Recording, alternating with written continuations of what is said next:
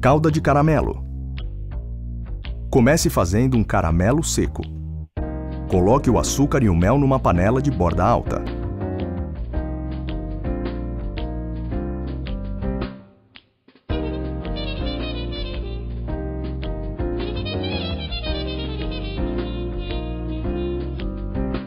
Leve a panela com o açúcar e o mel ao fogo, mexendo constantemente.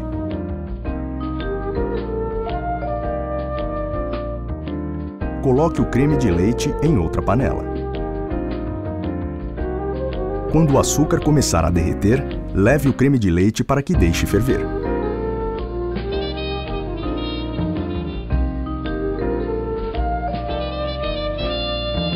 Quando o caramelo estiver pronto, despeje o creme de leite fervente aos poucos e misture com um batedor de arame.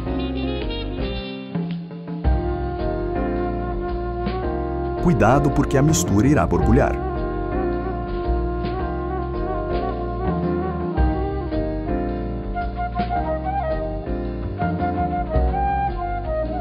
Desligue o fogo.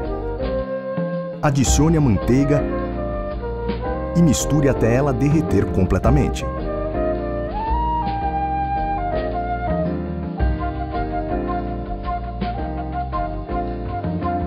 Coe o caramelo numa peneira de metal para eliminar qualquer cristal que tenha ficado e deixe a calda esfriar antes de usá-la.